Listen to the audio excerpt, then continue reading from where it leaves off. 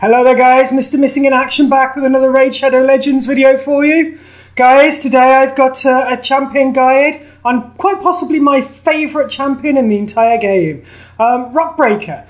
Rockbreaker is a, uh, an epic dwarf, he's a defence-based character, uh, Spirit Affinity, um, and, and, this is an absolute tank.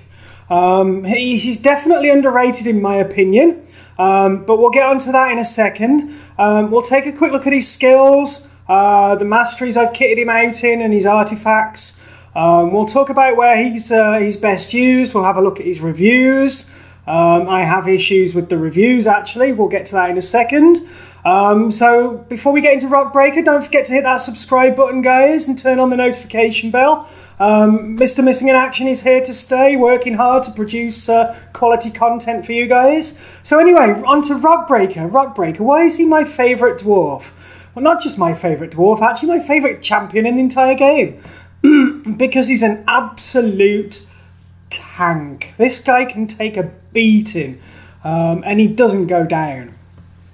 Um, let's take a look at the skills first. On the A1, we have Whirling Hammers. Uh, Whirling Hammers is a single attack, um, but each time he uses the skill, it increases his defense by 4%, uh, and that stacks up to 20%, and it stacks across rounds. Um, so basically, you can effectively add another 20% onto his, uh, his base defense, uh, which is pretty high uh, at over 1300 to begin with, um, and, and his defense stacks up as the, the fight goes on. Um, on chest thump, he's a 2. Uh, here he places a provoke debuff on all enemies for a turn. Uh, starts off at 75% chance, but you book that up to 100. Uh, and you bring the cooldown from 4 to 3 turns. Um, and he also has a really, really nice passive in Ironhide. Uh, Ironhide starts off as a 25% chance, but you book it up to 50, and you do want to book this guy to get the most out of him. Uh, he basically has this 50% chance of decreasing the damage inflicted by 50% each time he actually gets attacked. Um, and this genuinely does proc around about 50% of the time. So he literally, you build him with massive defense basically. Um, and his defense continues to climb and he's provoking and he puts counter attack on himself. Uh, he hits reasonably hard as well. He also comes with a defense aura as well in the arena battles by 30%, which is massive. Um, he's great in a uh, an arena defense team. Uh, he's also pretty good in the offense team as well. Um, the provoke is a great way of uh, controlling the crowd effectively. Um, in terms of masteries, um, I've gone down sort of the uh, the, the, clan boss route, if you like. I am using him in clan boss at the minute while I work on my uh, unkillable team with Painkeeper and Maneater. Um, but I've gone down to War Master um, to give a, the chance of uh, basically procking the extra damage. We've gone obviously for uh, increased defense and we've worked our way down the defense tree. We've gone for things like Selfless Defender so that he, uh, he takes uh, some of the damage uh, from the first enemy hit an ally receives because um, he's the guy with the, the high defense. Um, so we've got things like Cycle of Revenge as well, uh, with a 50% chance of increasing the turn meter when an ally is attacked with a critical hit.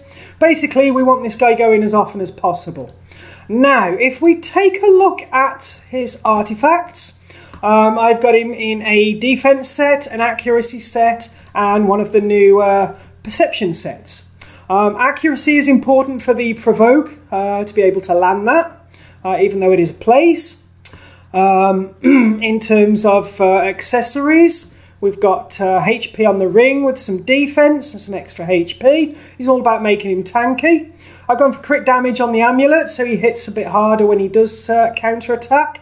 Um, the other stats, they're, they're, a pretty flat stat. I'll probably find something better in the future.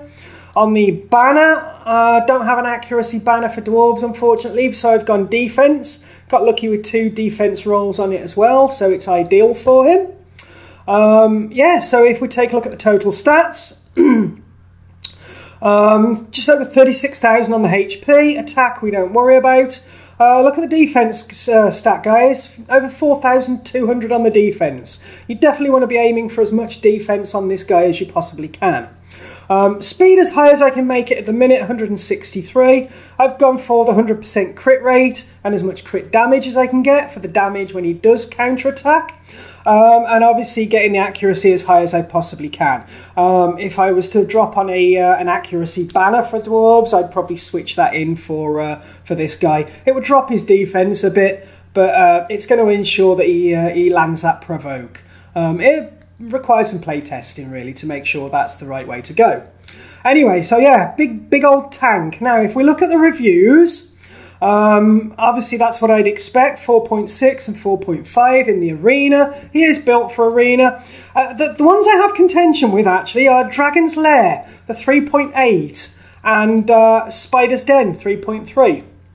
Now, I understand why these uh, 163 people have rated him as a 3.8 in Dragons, and it is because he is actually negative affinity for Dragon 20. But what I want to show you actually is that this guy is great as a negative affinity. Because um, what you want to do with this guy in Dragon 20 is you actually want the waves to be targeting him. He throws the provoke out, so they're going to target him then with the A1. Uh, when the provoke's not on, they're targeting this guy as the negative affinity anyway. Um, and if you take a look at the team that I use in Dragon 20, I've got Apothecary throwing spot heals on him. I've got Painkeeper throwing the AoE uh, heals out as well. That the guy basically doesn't drop. Um, kind of 90% of the time, he doesn't drop before the end of wave two. Um, once you get to the dragon, he's uh, he's kind of done his job at that point. Um, he does get some damage in with the War Master proc, but he's mainly in there to deal with the waves, which is generally the biggest problem with the dragon anyway. So let's take him into the dragon, and I'll uh, I'll show you him in action actually. So here we go then, into Dragon's Lair. We're going to go for stage 20, of course. And as I say, yeah, he is a negative affinity, um, but that's actually perfect for us. Because um, what you'll see is that all the hits are going to go into Rockbreaker, uh, and, and basically it's going to stay away from these four here. Um, we've obviously got Apothecary in, who's great in, D- in dungeons anyway. He's going to raise the defense of, of uh, Rockbreaker and everybody else by a further 21%. He's got the spot heals, of course. We've got Painkeeper for the AoE heals. Also comes with the uh, decreasing of the cooldown as well, which helps uh, Rockbreaker throw his provoke out more often. Um, Ghostborn, uh, probably my second favourite character in uh, Raid actually, uh, with a decreased defense and increased attack combo, and uh, Frozen Banshee in there basically once we get to the dragon to throw out that poison sensitivity, and as much poison as we can get on the dragon to do it pretty quick. Now this isn't a quick run, it's going to come in probably between four and a half and five minutes, but bear with it, watch what happens, mainly with Rockbreaker. Uh, watch how his damage increases as time goes on uh, through the first wave as his defense stacks up with the A1. Um, watch how he keeps his provoke out on a consistent basis, and even when the provoke is not out, watch how the waves actually target him as the negative affinity anyway. So here we go, let's go straight into it. As quick as it loads up, you'll see what's going to happen. So bear with it, watch it carefully. Um, I really do want uh, Rockbreaker to get more credit than he gets at the minute. Okay, so here we go. Let's see what happens. There's Rockbreaker with the provoke on all five. So obviously all five are going to throw uh, AA1s at Rockbreaker. Um, Apothecary obviously has the three uh, opponents at random. But if you do watch, watch how often Rockbreaker gets hit throughout these first two waves. Uh, and watch how it the, the damage is being pulled completely away from the other four. There's Painkeeper with the AoE heal, just keep uh, Rockbreaker topped up. Uh, the only danger I've got here with this team is if uh, if Ghostborn does take a, a, significant hit from the Apothecaries, um, and his HP does drop below uh, Rockbreakers, then they tend to target him instead. Um, so hopefully Apothecary can keep uh, Ghostborn uh, away from that position. But look, everything's going into Rockbreaker. He's hitting back. His damage is increasing as we go. There was a 9, then a nearly 15. Uh, a 13, so he's probably peaked at this point now. He's not in there for damage though, guys. He's basically in there to pull the damage away from everybody else. There's the provoke again on all three. Um, he, he put some fairly meaty hits in. Kind of 15 with a War Master proc of about 8 there. And 9.5 there. First wave is almost done, but as you can see, Uh, the other four are all at completely full HP, uh, uh, and ironically, so is Rockbreaker pretty much. Um, that uh, passive that he's got is really great as well, um, reducing the damage by 50%, 50% of the time. So there's the first wave gone.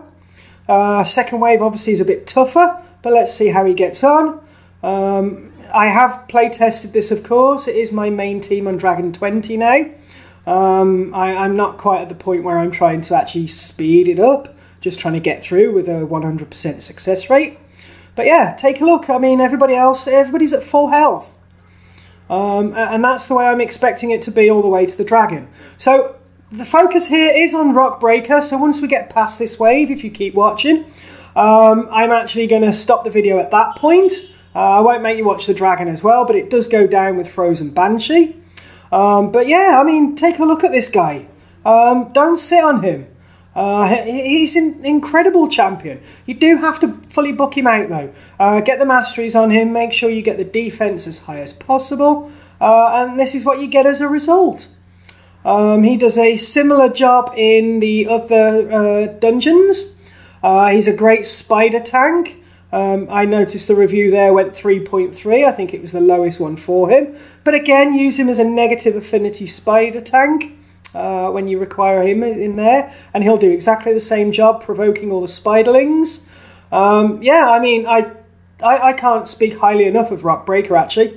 Um, here we go. Second wave's almost over. Um, once this goes down, I will uh, cut the video and say goodbye to you guys. So as I say, please remember to subscribe. Um, I love doing this. Uh, my channel is slowly growing now. I'm at almost 200 subscribers. I'd love to get to that 1,000 subscriber mark before the new year. Um, but I can only do that with your support. If you like this type of content, um, you like my shard pulls, which I'm hoping to do one in the two times uh, tomorrow, then, uh, like I say, hit the notification bell as well as a subscribe. Uh, leave a like, leave a comment. Um, I wasn't really watching it. I don't know how often anybody else actually got hit. Um, maybe you can watch it carefully and put that down in the comments for me. How often did uh, the other four get hit by the waves? Anyway, guys, Mr. Missing in Action, peace out. I'll see you tomorrow with a, a, a summon event two times.